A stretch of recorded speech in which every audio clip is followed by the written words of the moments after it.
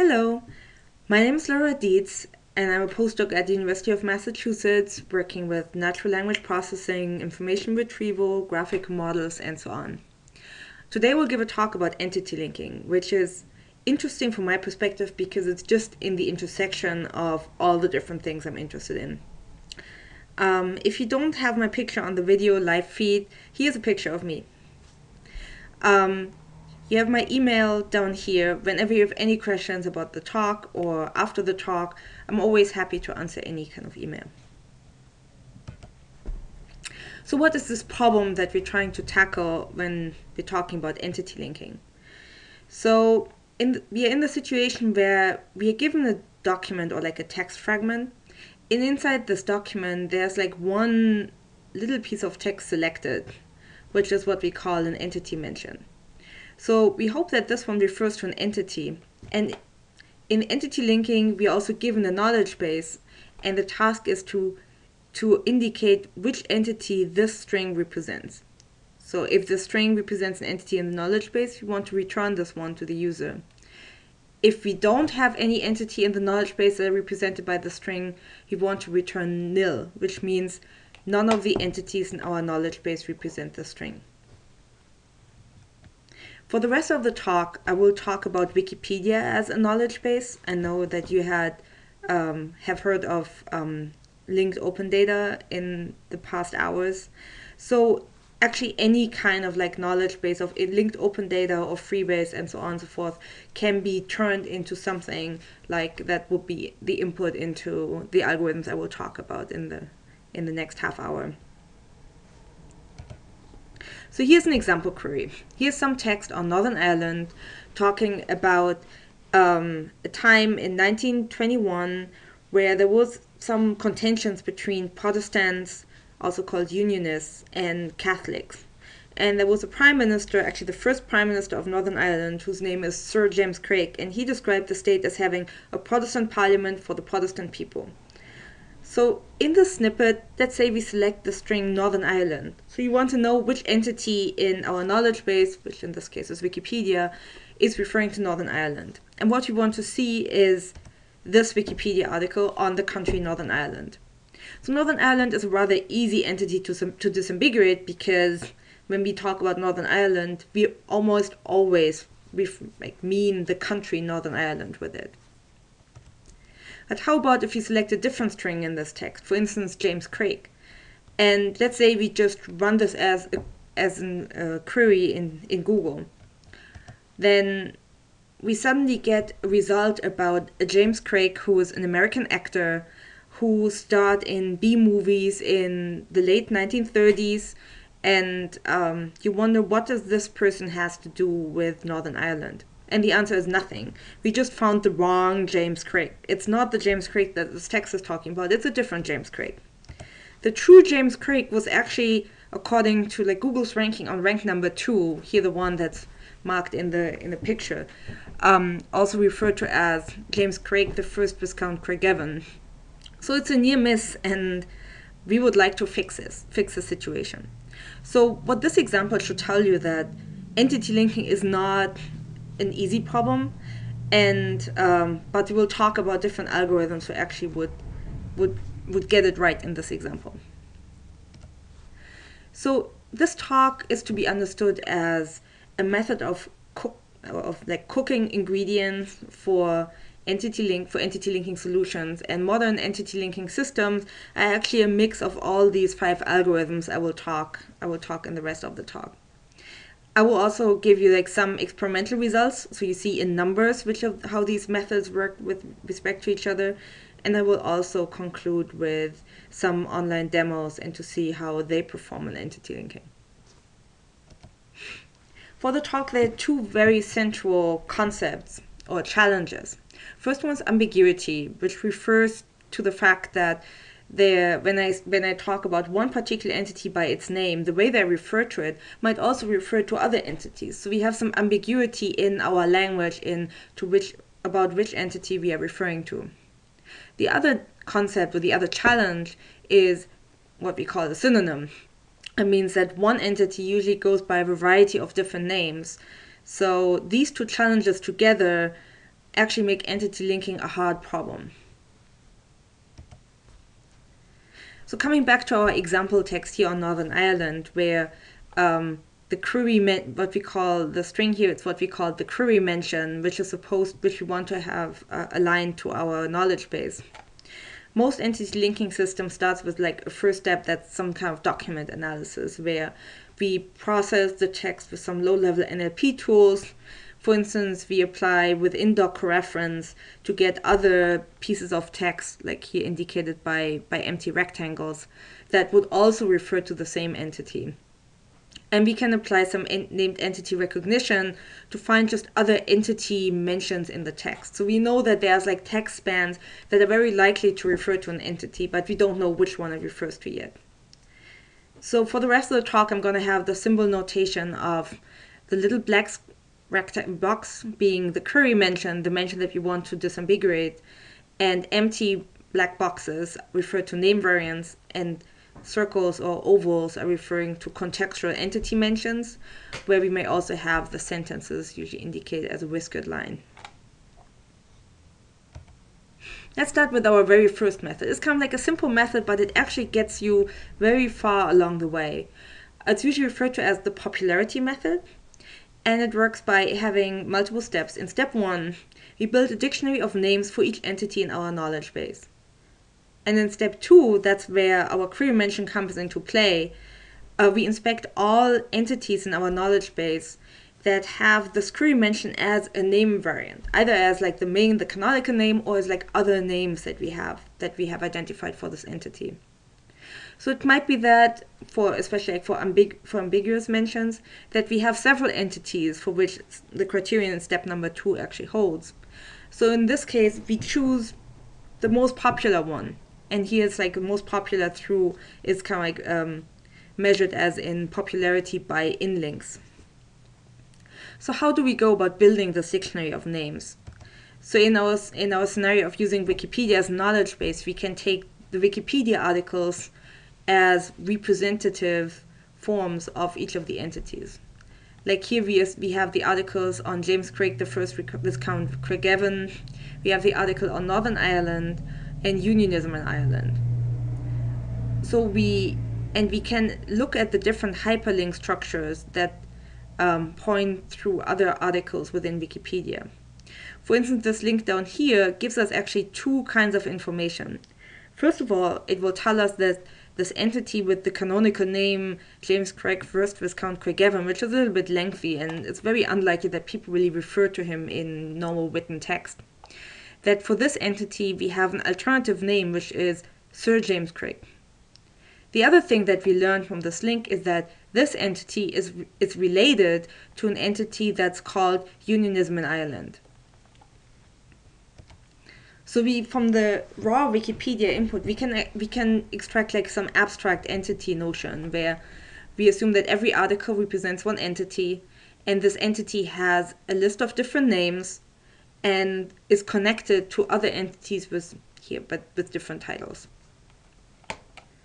So this can also be um, generated from any other knowledge base. For instance, if you have RDF triples, you would assume that every subject is an entity and then maybe you have a particular relation that refers to other name variants of for this entity and you have like um, relationships that connect this entity to other entities via some predicate.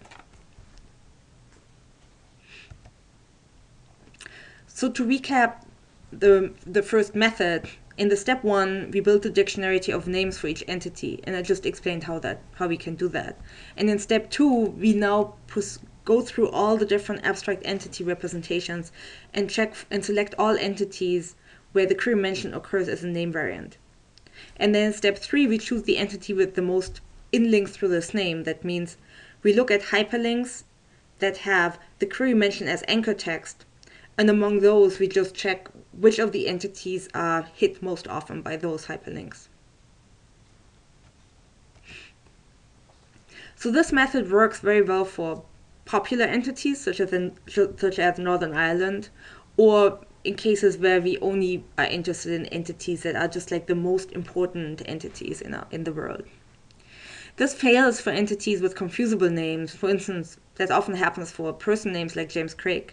There are also certain towns that are just have just a very popular name like Springfield. Like literally every state in the United States have has a town called Springfield.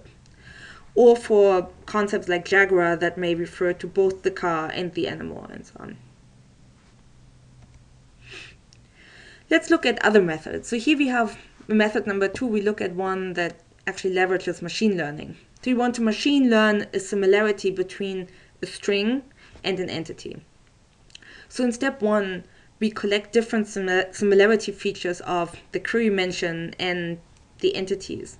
And in step two, we apply machine learning to learn a, a weighting of these features um, given some training data. So here we can either use a classification SVM or we can use a learning to rank SVM or any other kind of discriminated classification or re-ranking algorithm.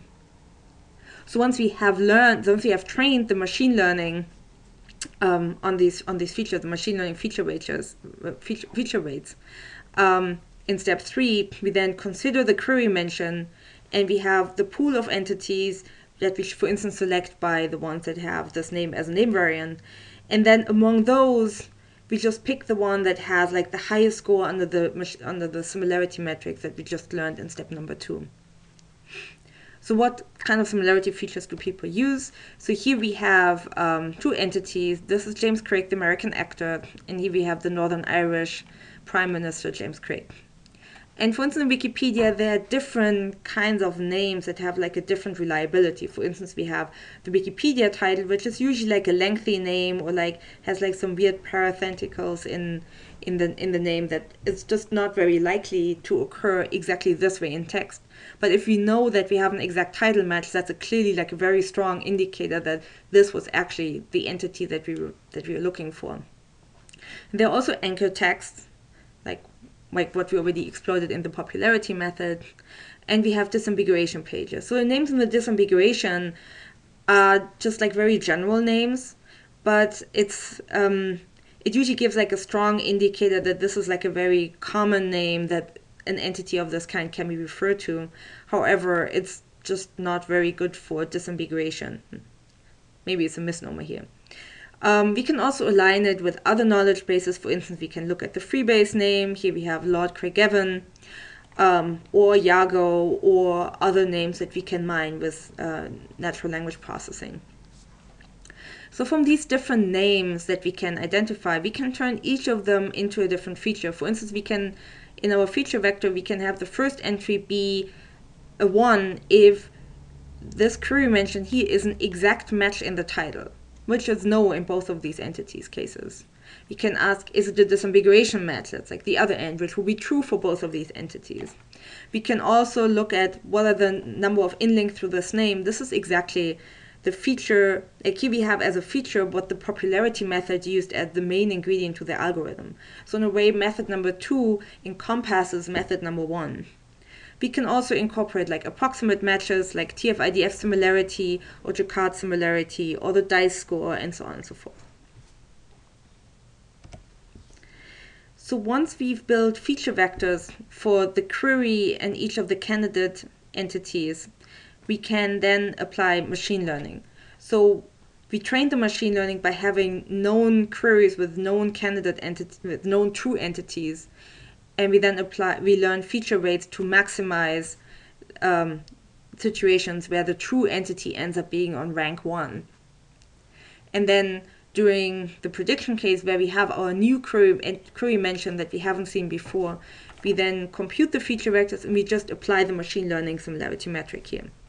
So this will give like a new ranking among the candidate entities for instance like on rank 1 2 and 3 and then we can either just return whatever entity ends up on rank 1 or we can apply the nil classification on top of it where the goal is to is to figure out whether this entity is close enough, it's similar enough to the query mention to be a good match, or whether we'd rather be on the safe side and say we don't know any entity in our knowledge base that refers to this query.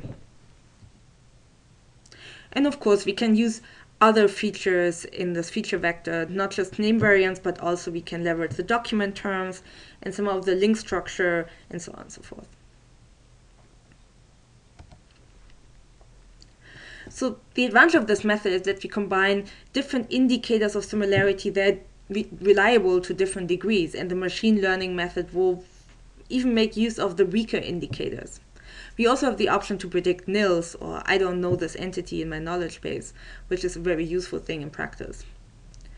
This method can further be extended to include name variants that we find in the text with coreference tools, um, although I didn't talk about this here. It would just be like more entries in the feature vector. The downside is that this method requires a selection of a, of a pool of candidates, which can be large if the name is very general. And for instance, imagine like all entities that are referred to as John Smith. Um, so now we may have like hundreds of thousands of entities that for which we have to generate feature vectors in order to make a decision which of the ones is the best one. Also, this method still fails on our James Craig example because the wrong James has just way more anchor text matches, and the machine learning method probably picked up that these anchor text methods or the popularity feature for method number one is a very useful one, and then it would just lead to the wrong James Craig. So it seems like the problem is that we only look at the name and we don't really leverage the context in which the query mention contains in. So here's a very simple method. So how about we first identify the text and the entities that surround the query mention, and then we comprise a big search query containing all of it and issue it against Google. So here's our example fragment. So here we have the query mention, and we have different name variants that we find with the coreference algorithm. And we have other neighboring entities like Northern Ireland and Catholics. And while we already added, we can just like throw all the terms here in the sentence also in the query. Now we search for James Craig, the name variants, the neighbors, and the sentence. And yes, it works. It puts the right James Craig, the first Viscount Craigavon, on the top of the ranking. So this method, I mean, although it's kind of like brain dead, it clearly works for James Craig. And it shows like the, the use of information retrieval in this field for entity linking. However, it's problematic when neighbors are ambiguous. For instance, in the string, Lisa witnessed the shooting at Springfield High School, it's unclear which, which Lisa and which Springfield we are referring to. It's also problematic when neighbors don't provide enough disambiguation power. For example, there are all other James Craigs of Ireland which are just less popular and we have no way of actually reaching them just by having Northern Ireland in the context. So here is just like a like a section, like like a little bit of entries on the James Craig disambiguation page, and the blue boxes refer to enti- James Craig entities that actually are Irish or related to Ireland, and we see that we have um, Irish painters, we have a loyalist, actually from the other side of the party, we have um, physicians and uh, other politicians in this list. So whenever we have James Craig in Northern Ireland, um, any of these James Craigs would be fine matches. And it just happened to be that the first Viscount Craigavon, because he was the prime minister, and actually the first prime minister is like a very often cited entity. So let's consider method number four. It's a more elaborate method that makes use of graphical models. We call them the joint assignment models. So in step number one, we identify all entity mentioned in the text. That's like as we had before, we have the query mentioned James Craig and then like other name variants and other contextual entity mentions. And then in step two, for each of these mentions, we retrieve the pool of candidates. These are like all entities that contain the respective mention in one of the name variants. And in step three, we select the entity of the target pool that maximizes the following equation.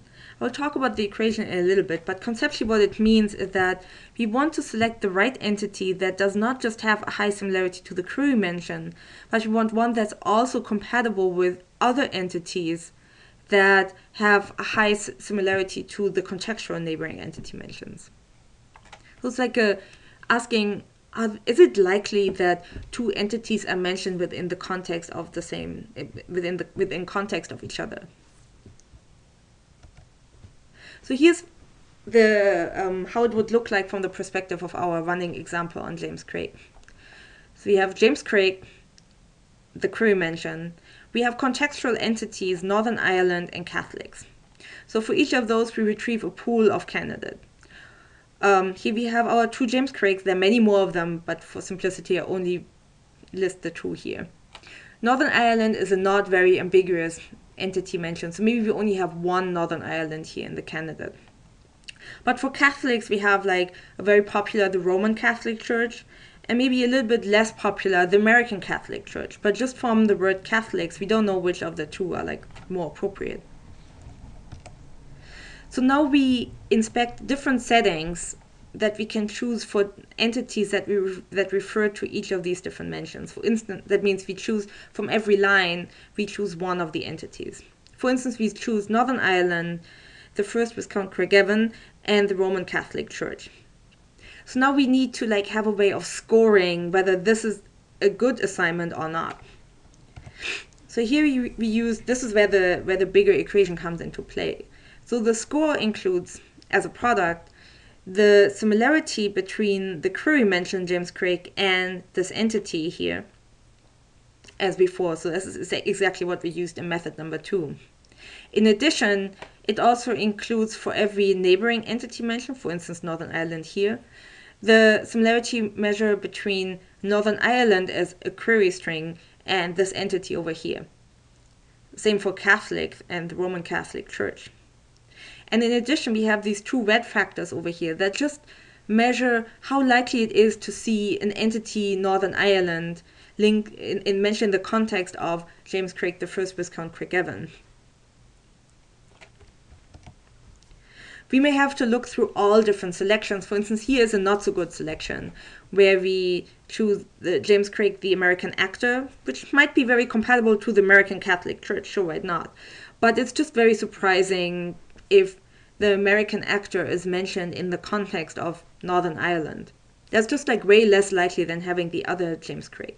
So in this case, Northern Ireland is a disambiguating factor that points to the the first Viscount Craigavon versus the misleading and mentioned entity, um, the American actor. So we have to learn similarities because for in order to resolve the product, we need to have one scalar value, and maybe we have different features that have different indication here. So as in method number two, we learn the feature-based similarity, but we have two kinds of similarities. The first one is the similarity between mentions and entities, which is what we already like learned in method number two. And the same the same similarity is used for both contextual neighbors as well as the query mention. In addition, we have to learn an entity-to-entity similarity, um, which is, should tell us how likely it is to have these two entities be mentioned in the same context. And here we can use different kinds of indicators. For instance, a mutual link between these two Wikipedia articles is a very strong indicator. If they have the same category, that's another indicator if we are in an RDF triple store, having relations between these two entities is just a strong indicator. So to recap, in joint assignment model, in the first step we identify all entity mentioned in the text, like over here. In step two, for each of these mentions we retrieve candidates over here. And then in step three, we iterate through all possible combinations and select the target entity over here that maximizes the joint probability, which is just like the prob- like the product between these factors, these factors, and the compatibility factor. So it's kind of like obvious that this may get a little bit expensive if we have many mentions in the text, and for some of these mentions we have like high ambig- ambiguity, which means that we get a pool of entity that's really really large. So the advantage of the method is that it can actually resolve mutual uncertainty. That means if we have two entities that by themselves could be confused with other entities, but maybe the fact that they're mentioned in the context will help us to actually resolve the ambiguity. A downside, it requires a pool of candidates, and here we have to trade off runtime versus recall because it's actually it can turn into a very expensive inference problem if we have many mentions and deep pools. It may also still fail on the less popular James Craigs or when the context does not resolve ambiguities. I will now talk about the last method, method number five, which we call the joint retrieval model. in step number one, we identify all entity mentions in the text as in the previous method over here. Then for each of these, for each of the query mentions only, we issue a search query including the query string, neighboring mentions, and the sentence rating each ingredient differently. And here the idea is that we want to have a structured matching of text to KB. So this is kind of like a similar approach than what I was talking about in method number three. But here the difference is that we want to have that we have a different rating and we actually apply machine learning. So as a recap, when I was building up this abstract entity representation, we were looking at the different Wikipedia articles where each of the articles represents a logical entity. And I was talking that from this link down here, we're first of all getting Sir James Craig as another name alternative, but we also can take away that this entity is related to an entity called Unionism in Ireland. And that this will end up actually being um, part of the abstract entity representation. So we are going to leverage this in, in the scoring for method number five. Coming back to the Northern Ireland example, we are not retrieving any candidates for any of the other contextual mentions. We are just because we only want to disambiguate this query mention over here. And we score it by multiplying this, the name similarity between James Craig and this entity with compatibility factors that are based on the neighbor mention with this entity. For instance, here we have a string Northern Ireland, and we and we see that Northern Ireland is also mentioned as one of the inlinks into this entity. So we can, from here, that's really like a strong indicator that this is a good a good assignment, and that the actor is not a good match here. So that's an obvious, an obvious connection between method number four and method number five. Method number four, we have explicit pools of entities, and we treat them as like an explicit inference problem. But that's also where um, the computational complexity comes into play because we have to try out all these different entities to score them mutually. Method number five, we we kind of like integrate over these latent entities in the context, the entities that we don't really care about just for the sake of disambiguating this particular mention over here. And we have, and it falls down to be like a much simpler equation that's similar. It's just like these two factors over here from the string to the to the neighboring entity and the neighboring entity to the target entity is just summarized as one factor. The advantage is that this is such an easy equation compared to that one that it cannot just be solved analytically, but it can be even solved with a standard search engine. So here, the idea is that we have all the different mentions in the text and we turn them into one IR query that we issue against a special search index where the search index contains our abstract entity representations. And this can allow us to implement features like um, the neighbor occurs in the entity's text, and the neighbor is a title of the in links, the out links, or a list of mutual links, or the same of like same context links. Um, just with straight up information retrieval. So here's how we do that. So we start with the abstract entity representation and we turn it into uh, a, kind of like a generated text document that has different sections. So the first section is where the Wikipedia title goes into because it's just like a very canonical name, although it's often very rare, but it has like really high weight. And then we have a different section, or potentially multiple sections, that contain all the other name variants. And then we have another section that contains the in links, the out links, and the mutual links. And while we already added, we can also throw in the whole full text of the Wikipedia article. So this abstract um, document here, we just submit that to the indexing process of any search engine. So you can, for instance, use like the popular search engine Lucene. Um, in my lab, we, we develop our own search engines and for like research purposes. So we are using, we were using Galago in our experiments. So now we have a search index with that's fielded. We can do field retrieval over it. So in order to capture the entities, we now have the query mention and the neighboring mention Northern Ireland here. And this is the document that we just generated for James Craig. And from this from this document here and the contextual mention Northern Ireland, we can compute a feature vector asking, um, does this neighbor occur in the full text article of the Wikipedia? Or does it occur in the in links or in the outlinks title or in the mutual links? Or maybe is this an approximate match? We can also include like TF-IDF similarity score, which is usually whatever is supported by your search engine. So we can use machine learning to learn these feature weights for instance, with the learning to rank method, and that will give us scores for the neighbor mention to entities to entity. But often we can also take these weights and embed them in the search engine and just let this, the search engine carry out this um, the feature weighting.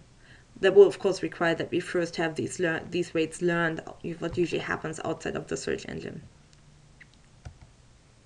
So we combine this with the query mentioned to entity features that we had before, like title match, disambiguation match, and so on and so forth. We also learn mach- machine learning weights for these different for, for, for different entries, and we can also embed them into the search engine. So to cap up, in method number five, the joint retrieval model, the idea is to turn the query mention and the context into a weighted IR query and run that against the wiki, uh, like an index that contains our abstract entity representations.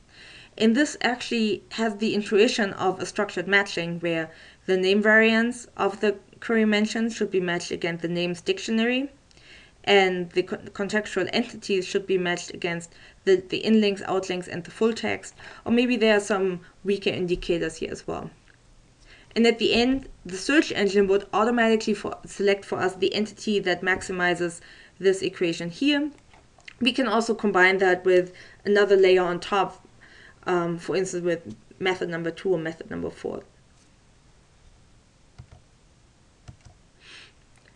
The advantage is this method is similar to the joint assignment model. It captured the same spirit, but it's a lot cheaper.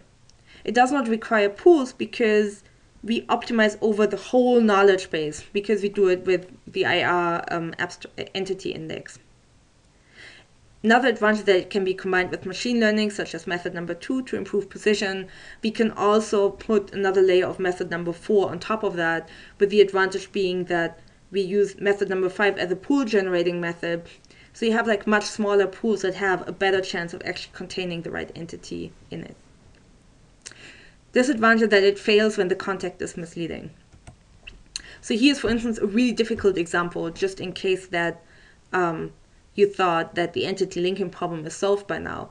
So if you all remember the TV series Lost that um, was um, aired on American television just a few years ago. So it was shot by the American Broadcasting Company. And here's a, here's a short text fragment that talks about that. It goes, ABC shot Lost in Australia. So, and of course, the true entity American Broadcasting Company is here represented by its acronym ABC. But there's another entity that also had the same acronym match. It's called Australian Broadcasting Corporation. And because we have Australia in the context, and there's not even like any question of ambiguity with Australia, but this is just like such a strong indicator that points towards this entity that we will always predict the wrong entity here. So in another paper, we described an approach to, to treat this by identifying misleading neighbors, and it turns into a variant of method number five, but I'm not going to talk about this here.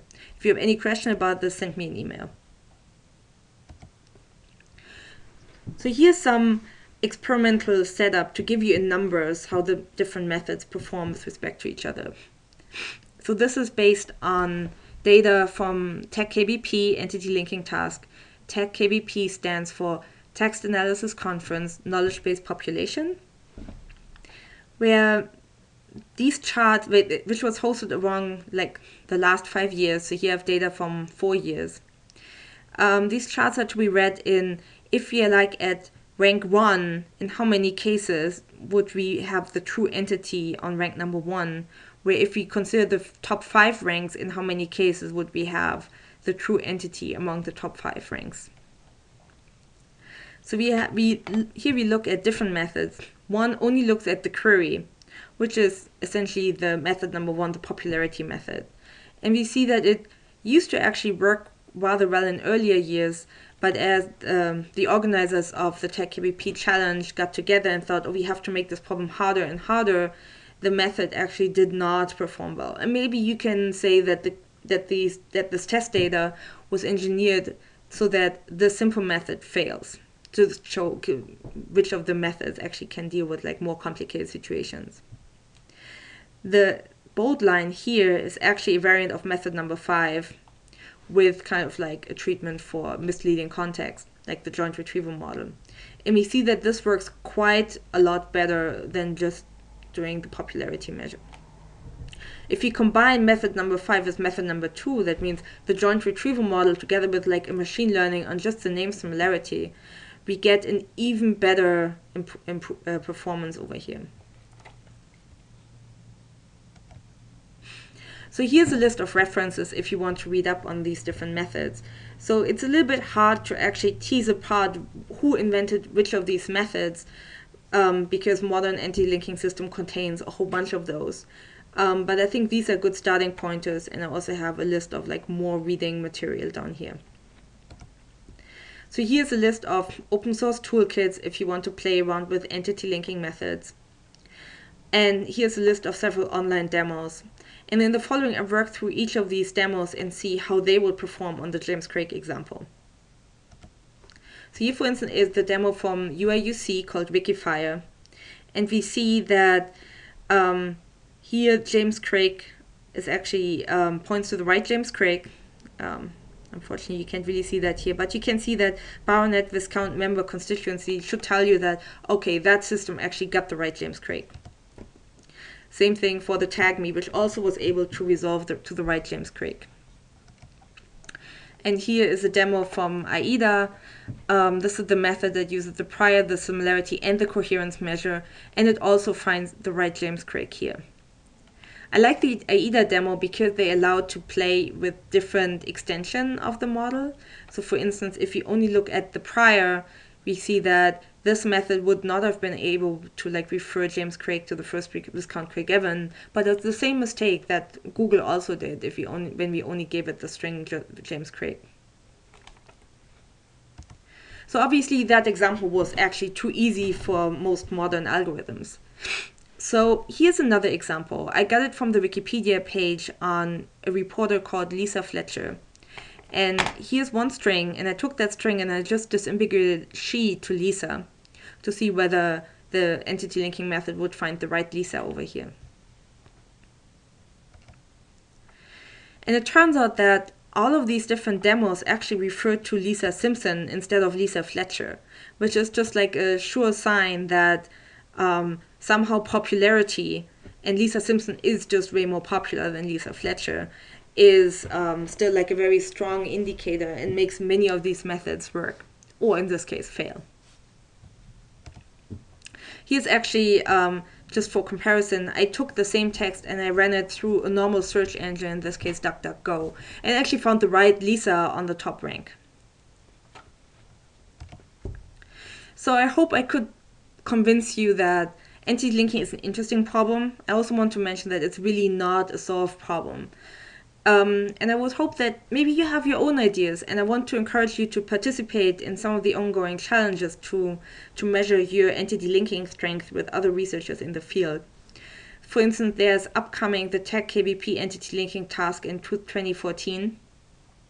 There's also at SIGIR, at the SIGIR conference, there's going to be a workshop that hosts the challenge like on entity recognition and disambiguation, which is just another name for entity linking. There's also planned an INEX 2014 workshop um, um, challenge. And if you watch for the tweet contextualization track, that's essentially entity linking on tweets from Twitter. So if you have any more questions, so I'm now reaching the end of my talk. If you have any questions, feel free to send me an email. I will also put slides and this and a video of this talk online on my webpage over here. And I'm hope to take some more questions right now.